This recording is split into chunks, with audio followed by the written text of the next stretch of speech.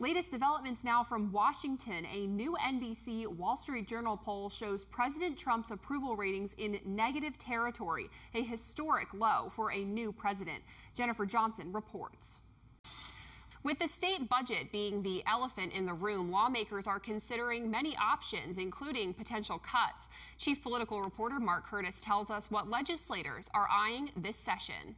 It's that time of year again, and the florist industry is quite busy around Valentine's Day. Megan Hudock has more on what they do to prepare for their big day.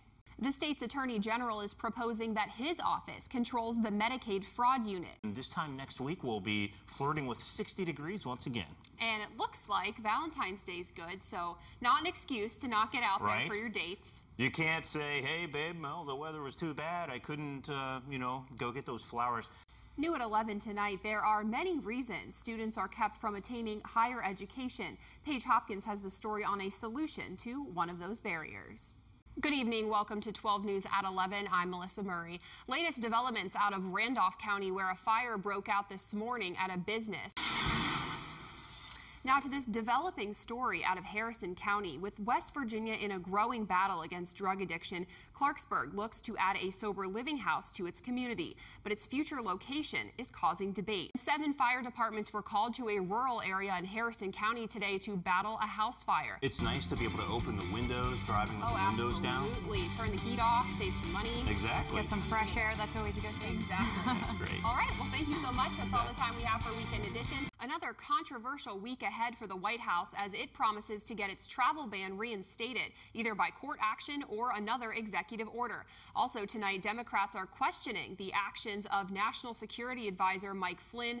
Another confirmation for the Trump administration, Health and Human Services Secretary Tom Price.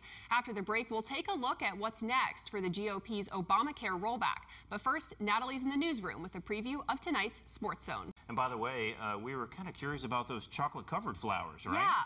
We couldn't decide if they were roses covered in chocolate or fake chocolate roses. Like they, they dip them in Yeah. or they spray it? I don't know. They more cool importantly, either way, right? Can you eat it? Uh, probably. Well, what a difference 24 hours makes in the weather department. Meteorologist Sean Householder joins us from the Storm Tracker 12 Weather Lab to tell us what we can expect for tomorrow. Sean? Also new at 11, Taylor County 911 dispatchers say a Grafton Volunteer Fire Department truck fell into a ditch earlier today. Dispatchers say it happened on Pearl Street around 3:30 p.m. No injuries were reported. The extent of the damage to the truck is not clear at this time.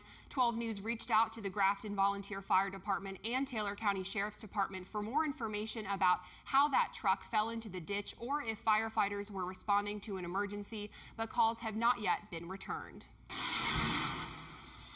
A vehicle accident in Marion County sent one person to the hospital yesterday. It happened just before 3:30 in the afternoon on Manley Chapel Road near the Monongah Heights apartments in Fairmont. State police say two cars collided head-on when one car crossed the center line. One person was flown to Ruby Memorial Hospital for injuries. There's no word right now on the extent of those injuries. The Marion County Rescue Squad and Monongah Fire Department also responded to the scene.